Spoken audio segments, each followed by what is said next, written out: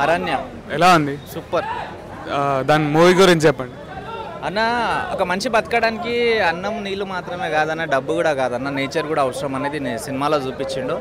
And A hero ఇలాంటి dare చేయడన్న? ఇలాంటి స్టోరీస్ తీసుకోవడానికి అలాంటిది రానా సార్ డేర్ చేసిండు. నిజంగా నిజంగా చాలా బాగుంది. అసలు ఆయన యాక్టింగ్ అసలు అదరగొట్టేశారు.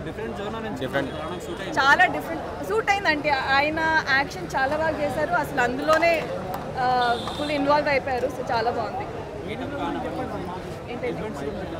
ఎలిఫెంట్స్ అయితే అవి చాలా ఎమోషన్స్ చూపించండి కోపం ప్రేమ బాధ అన్నీ చూపించాయి. ఎలిఫెంట్ యాక్షన్ అన్నిటికంటే హైలైట్ అందులో. ఎలిఫెంట్స్ యాక్షన్ వల్లే మనము ఇంకా చాలా ఫీల్ అవుతాం. సో వండర్ఫుల్ ఓవరాల్గా రేటింగ్ ఎంత ఇవ్వగలుగుతారు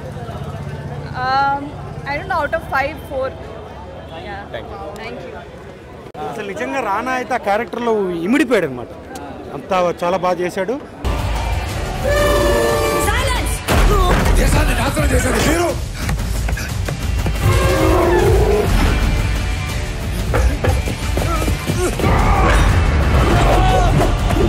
రంగదే మూవీ చూసాం బాగుంది సూపర్ ఉంది. కీర్తి సురేష్ ఎలా చేశారు అండ్ నితిన్ ఎలా చేశారు? కీర్తి సురేష్ బాగా కొంచెం ఎమోషనల్ ఉంది. నితిన్ కూడా చాలా బాగా చేశారు. లాస్ట్లో బాగుంది ఎమోషనల్స్. ఎలా ఉంది బ్రో మూవీ? యా మూవీ బాగుంది. అంటే సింపుల్ ఫ్యామిలీ మూవీ అని చెప్పాలి. సో సెకండ్ హాఫ్ కానీ సెకండ్ హాఫ్ ఫ్యామిలీ ఎమోషన్స్ కానీ అవి బా బాగున్నాయని చెప్పాలి. సో కీర్తి సురేష్ గారి యాక్టింగ్ బాగుంది. డిఎస్పి మ్యూజిక్ ఒకటి బాగుంది. పిసి శ్రీరామ్ గారి సినిమాటోగ్రఫీ అక్కడక్కడ మనకు ఆ షేడ్స్ కనిపిస్తాయి అనమాట సో యా గుడ్ మూవీ. ఒక ఫ్యామిలీతో వెళ్ళి చూడగలిగే మూవీ అనమాట సినిమా మాత్రం సూపర్ హిట్ సార్. రంగ్ సార్. చాలా చాలా బాగుంది సార్. దేవిశ్రీ ప్రసాద్ మాత్రం మ్యూజిక్ ఎరగొట్టేశారు సార్ వాళ్ళ కెమిస్ట్రీ బాగానే ఉంది కానీ సినిమా సినిమా మాత్రం అంటే సీన్స్ బాగానే ఉన్నాయి సీన్స్ అనేది సార్.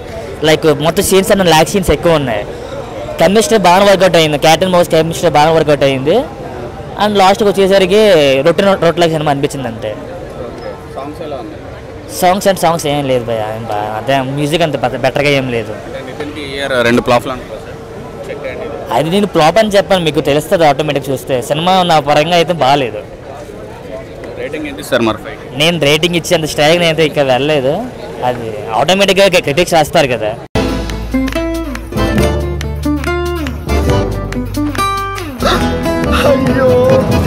రాత్రి ఏం సార్ ఆ సౌండ్స్? ప్యాక్ అయిపోయింది. లోనికి వద్దాం అనుకున్నా.